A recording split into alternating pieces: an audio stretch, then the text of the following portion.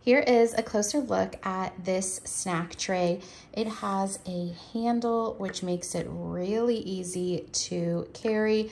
Easily comes down as well. I love this little button detail. It also has this really nice lid that seals so it keeps everything nice and secure in there. These little compartment trays are removable, so you could take all of them out and just use this as a nice like deep dish or you can use these little compartments to keep everything organized. You could take a few of them out. It's a really nice customizable tray, great for charcuterie. If you're going on a picnic, the lake would also be great as a housewarming present.